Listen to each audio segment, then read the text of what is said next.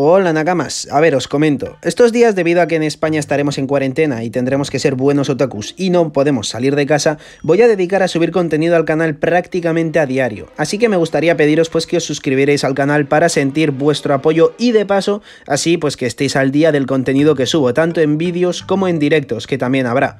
Muchas gracias Nakamas, os quiero mucho.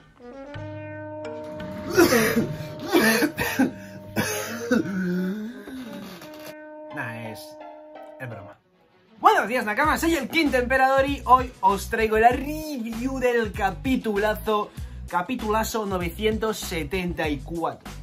No sé si en el vídeo se notará o no, pero bueno, si vosotros notáis una voz un poco de... Ne, ne, Duffy, ne, Duffy, ne...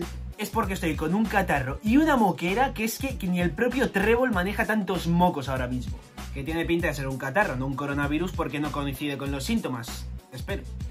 Respecto a ese temita, pues nada, Nakamas, espero que todos estéis bien, que vuestro entorno y vosotros mismos estéis lo más saludables posibles y que bueno, que realmente aunque nos tomemos estas cosillas con un poco de humor, que tampoco viene mal, a fin y al cabo, que a pesar de meter este humor de vez en cuando, también seamos un poquito responsables y tengamos un poquito de cabeza con el tema. No voy a ser yo quien os vaya a dar la turrita de quedaos en casa, he lavado las manos, no sé qué, pues porque eso ya lo hace todo el mundo, así que ya sabéis, cada uno somos mayorcitos para saber lo que tenemos que hacer. Pero básicamente eso, que espero que everybody esté very good.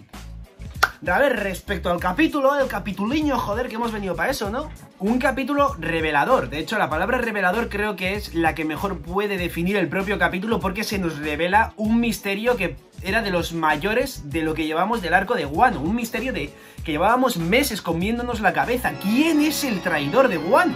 Pero no solo eso, Nakamas, no solo se revela quién es el traidor, también aparece...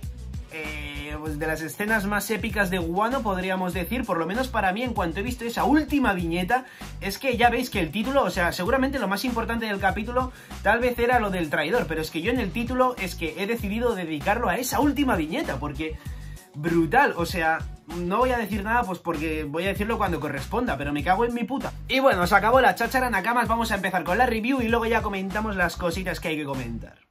Empezamos con Denjiro y con Hiyori en el castillo de Denjiro, donde están hablando, pues, lo que parece ser unos días antes de la situación actual del presente, con Hiyori, pues, ya mayor, y Denjiro explicándole que siempre lleve bolsas de sangre dentro, porque si en algún momento va a tener que Denjiro separar a Hiyori de Orochi, porque recordemos que Orochi estaba muy pillado, muy enamorado por Hiyori, al final es la mujer más bella de todo Guano, pues que si en algún momento tenían que separarlo por alguna razón u otra, que lo harían mediante la muerte.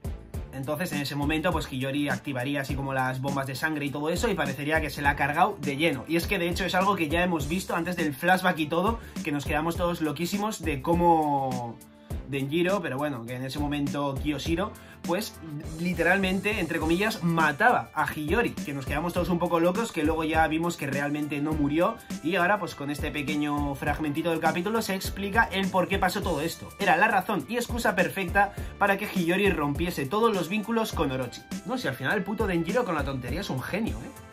El narrador nos dice que unos meses antes, es decir, volvemos a un poquito al pasado, al momento en el que los vainas rojas que viajaron al futuro, pues precisamente llegaban a ese futuro, a lo que para nosotros es el presente. Vemos a Orochi muy nervioso, gritando porque ha recibido una carta donde dicen que todos los vainas rojas que viajaron al futuro han llegado.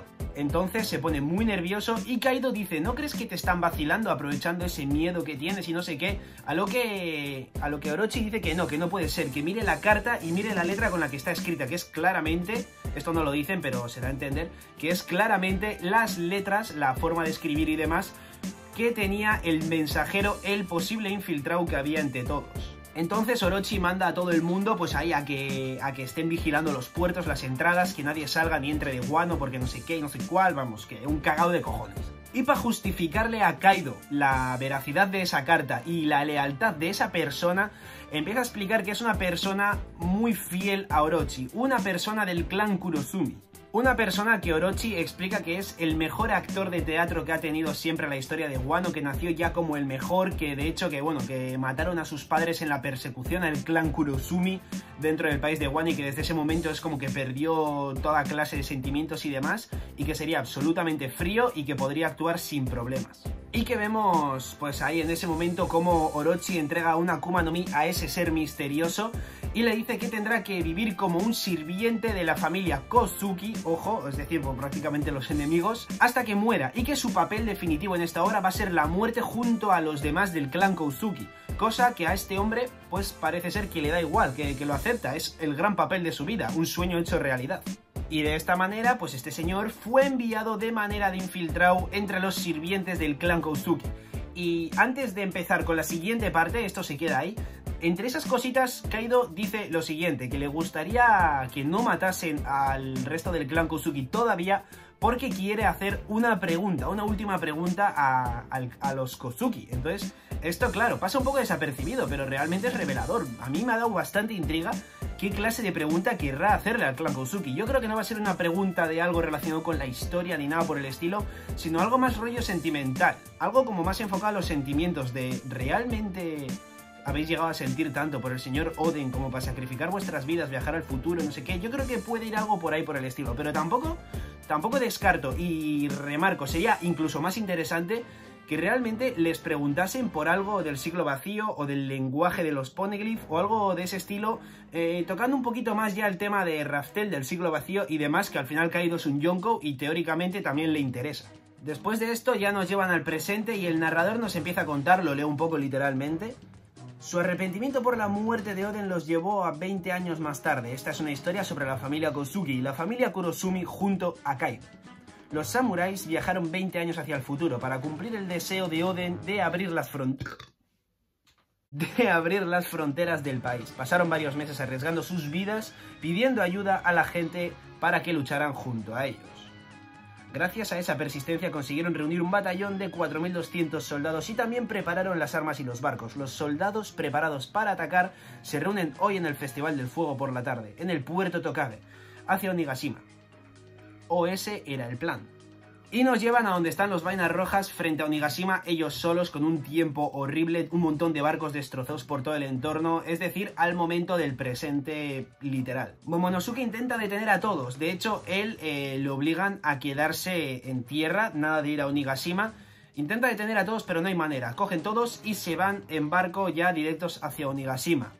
Y aquí ya es cuando empieza el salseo. Kinemon empieza a hablar de que es extraño, de que alguien debió haber filtrado el plan, porque todo el rato eh, Orochi estaba al tanto de qué estaba pasando, ahora con este plan de bloquear todos los puentes y demás, algún infiltrado tenía que haber, y eso es lo que dice Kinemon, que entre nosotros, entre los vainas rojas, debe haber un traidor, pero que ya eso le da igual, ya no quiere saber nada de eso y que vayan a Onigashima y ya está. Entonces Kiku le interrumpe y le dice, Kinemon, eso no es digno de ti, tenemos que intentar descubrir quién es y cargárnoslo. Entonces aquí Kanjuro coge y dice, Kinemon, Kiku tiene razón, tenemos que intentar aclarar todo esto ya. Se le cambia la cara y dice, yo soy el traidor. Entonces el resto de vainas rojas se quedan todos loquísimos mirando a Kanjuro diciendo que no puede ser, que es una broma y no sé qué. Entonces Kanjuro le dice pues que realmente eh, ha estado muy a gusto con ellos, eh, ha, conseguido su confianza, no sé qué, no sé cuál. Es decir, pues que realmente vivió como un vaina roja más, incluso sirviendo a Oden, pero que todo era pura actuación. A lo que Kiku rabiosa perdida le pregunta que cómo fue capaz de hacer eso. A lo que Kanjuro le responde con dos palabras que son suficientes para justificar todo esto. Kanjuro Kurosumi. Y aquí revela algo Kanjuro que la verdad es que me ha dolido mucho. Y es que, claro, eh, todo el plan era perfecto por parte de los Kozuki y demás. Que Yasuye incluso fue capaz de cambiar el puerto el puerto de, punto de quedada y demás, porque ya sabían que iban a quedar en el otro lado, entonces Yasuye los redirigió, pero que claro, en el momento en el que Kanjuro se enteró de eso, es que la muerte de Yasuye fue absolutamente en vano, un personaje como Yasuye. Entonces Kanjuro le dice a Inuarashi, desde el momento en el que Jack apareció en Zou, ¿no te pareció ya bastante sospechoso el hecho de que pudieran llegar a Zou y no sé qué? Ahí empezaste a sospechar. Es lo que le dice Inuarashi. Y de repente después de eso vemos ante el barquito donde están los vainas rojas una flota pues de tres, creo que son sí, tres, cuatro barcos enormes de Kaido dispuestos a mandar a la mierda el barquito. Entonces todos los de los barcos gigantes de la tripulación de Kaido empiezan a reírse de jaja, pretendían invadir Onigashima con este barquito, no sé qué tal. Entonces empieza a haber un poquito de diálogo, de relleno y tal, y de repente coge Kinemon y se carga, corta la cabeza literalmente a Kanjuro. Entonces, claro, eso es algo que impacta bastante, pero me parecía que era demasiado explícito el ver cómo cortaba la cabeza literalmente a Kanjuro y yo ahí ya me empezaba a ver algo raro de que no habría muerto. Y efectivamente, de repente es como que se derrite y es un dibujo. Cosa que extraña mucho a, a quien es, no sé si a Sura Douji o a Inuarashi. A Inuarashi, sí, a Inuarashi le extraña mucho que fuera una réplica tan buena, porque teóricamente Kanjuro dibuja fatal, super mal y no sé qué, y que esa réplica era perfecta de Kanjuro, y de repente, ojo, vemos a Kanjuro en el otro lado, donde se había quedado Momonosuke, pues ahí también vemos a Kanjuro el de verdad. Entonces, claro, ¿esto qué quiere decir? Pues que seguramente Kanjuro dibujaba mal adrede. Dibujaba igual, pues con la otra mano o lo que fuera, para dibujar mal y que luego realmente cuando tocaba dibujar bien no se enterasen los demás. Pero es que entonces esto quiere decir en Akamas que Ryonosuke fue una estafa. Nuestro querido Ryonosuke y su muerte tan trágica. Todo era falso. Y bueno, Kanjuro, pues desde el lado en el que está ahí secuestrando a Momonosuke, dice que Orochi le ha dado la orden de entregar pues a Momonosuke en Onigashima a Orochi y a Kaido. Y aquí es cuando ya todo se pone bastante tenso, pero de repente entra el momento de epicidad. Para terminar el capítulo, de repente, ¡pum! Un bombazo de, de, algún barco de por ahí escondido. Eh, acaba aterrizando en uno de los barcos de Kaido. Entonces todo el mundo se queda como, ¿qué ha pasado? ¿Quién ha disparado eso? Y vemos un rostro sonriente con una cicatriz aquí así cruzada, que ya tiene pinta de ser de hace tiempo, diciendo que lo siente, que llegaron un poco más tarde de lo previsto. Nadie sabe qué está pasando y de hecho, bueno, pues vemos ahí en pequeñito como un barco saliendo de la nada, un barco así pequeñito que igual os suena el nombre, el Thousand Sunny, pues bueno, pues está ahí saliendo con lo que parece ser nuestro querido Capitán Luffy, pero no se queda ahí la cosa, porque de repente Kinemon mira para abajo y dice, hay algo ahí abajo que está emergiendo justo delante, o sea, justo debajo nuestro. Y de repente sube un barco submarino con el logo de ciertos piratas que igual también nos suenan, que son los Piratas del Corazón, capitaneado por el señor Trafalgar Law con una gran frase digna de piratas que dice el señor Trafalgar Law. ¿A quién se le ocurre con este barquito de mierda entrar a semejante mar tan, tan molesto y tan movido y todo? Subestiman demasiado al mar. Samuráis. Y ya por si era poco, de repente llega otro zambombazo desde otro lado que revienta al otro lado del barco de, de la tripulación de Kaido y dice que qué hacen ahí esa mierda de samuráis ahí en un barquito tan pequeñito que estaban a punto de cargárselos, que se quiten del medio que solo estorban. ¿Quién puede decir una frase con tanta rabia que conocemos ahora que está por Guano? Eustas Captain Keith. Y el capítulo se cierra con estos tres putos titanes, los tres mejores supernovas que hay actualmente de la peor generación, capitaneados por la frase que dice Luffy. Es que, hostia. Cuando estáis en el mar, vuestros enemigos somos los piratas. Nada de samuráis, nakamas, nada de samuráis, nada de mierdas. Cuando estamos en el mar, los superiores, los enemigos, los peligrosos, somos los piratas. Bienvenidos a One Piece. Y el capítulo termina ahí, termina Nakamas, o sea, se queda ya cerrado ahí con de repente los tres supernovas y seguramente sus puñeteras tripulaciones salvando a los vainas rojas y mandando a la mierda a la tripulación de Kaido. O sea, estos tres barquitos, como no haya una calamidad o algo por ahí, que tiene pinta de que no la hay, es que es que empieza, empieza lo, lo gordo Nakamas. O sea, tenemos a Eustace Kid, a Monkey D. Luffy a Trafalgar, a, a ya en el presente, en pleno mar es que de verdad, sed conscientes de la situación. Creo que se viene por lo menos un capítulo y yo creo que va a ser una serie de capítulos bastante épicos.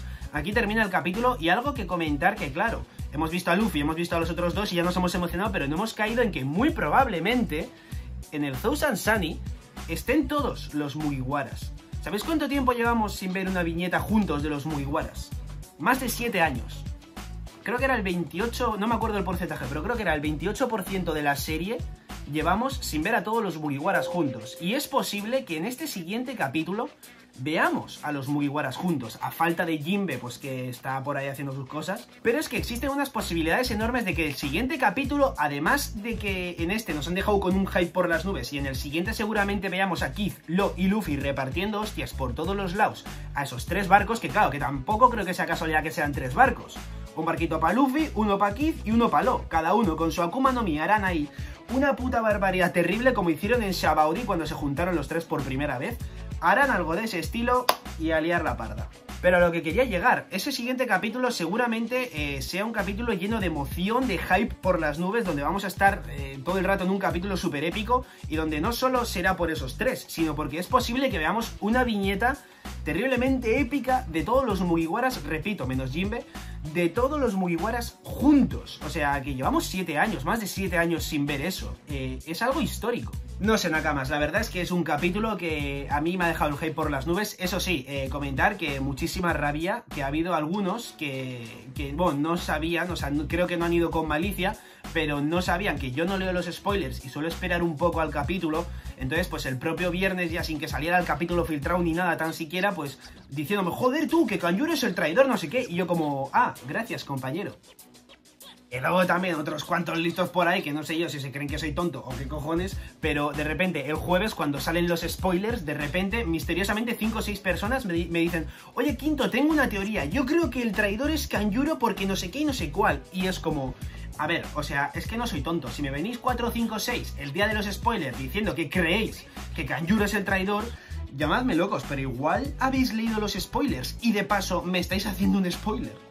Así que pido por favor, Nakamas, si leéis el capítulo filtrado, si leéis los spoilers o lo que sea, por favor, que eh, intentad evitar decírmelo por lo menos hasta el sábado o el propio domingo cuando sale Manga Plus o lo que sea, pues porque no me gusta leer spoileado el capítulo. Y este capítulo, a pesar de que ha sido súper épico y lo he vivido mucho, he ido al capítulo ya sabiendo que Kanjuro era el traidor y viendo la última escena de todas, la de los tres supernovas juntos. Entonces quitas eso y el capítulo se queda bastante menos hypeante. Entonces he perdido un poco de experiencia por culpa de gente pues que me viene así. Así que os pido por favor que para las siguientes no lo hagáis. Y bueno, después de esta chapa eh, termina la review. Espero que os haya gustado una cama. Seguramente esta semana, ya que estamos todos en cuarentena aquí encerrados en casa, en España, eh, seguramente haya bastante actividad tanto de vídeos como de directos, así que estáos atentos, Nakamas, suscribíos si no lo estáis, activad la campanita porque os repito, esta semana es que seguramente cada día haya contenido, si no es vídeo va a ser directo. Así que os pido eso, que os suscribáis y demás, y que me regaléis un likecito si os ha gustado el vídeo.